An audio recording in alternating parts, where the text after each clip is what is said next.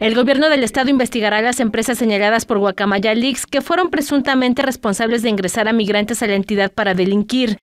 He ordenado, ya en la mañana, he ordenado la investigación de las empresas. A ver si tienen domicilio en Puebla, quiénes son las gentes que integran eh, sus, bueno, sus consejos directivos, sus accionistas, cómo funcionan, qué acciones han tenido. Vamos a ver. ¿Sí? Pero si yo hubiera conocido muchas de esas cosas que han dicho en esos archivos, nosotros los hubiéramos detenido.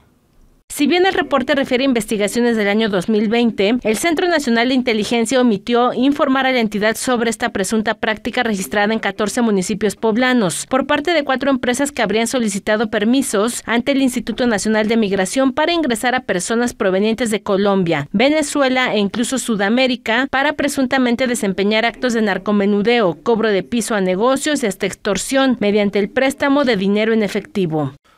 El gobierno del Estado no ha recibido de CNI nada, nunca en los tres años que llevo, de aportaciones de inteligencia. Lo digo.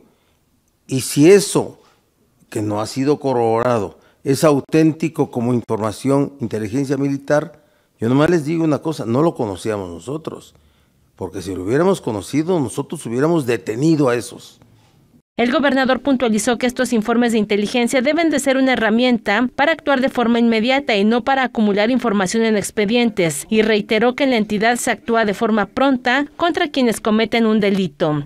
No hubiéramos esperado que estuvieran haciendo cosas y nada más sabiendo que ya sí las hacen y no las hacen. No, no, no. Los hubiéramos detenido nosotros. ¿Ya? Para que quede clarito. Yo, por tanto, no sé, no sabía nada de eso. Nada. Si hubiera sabido, a todos los hubiéramos detenido. Resaltó que por el momento no está claro si realmente el contenido de esta información corresponde verdaderamente a informes de la Sedena. Sed Noticias, Miriam Espinosa.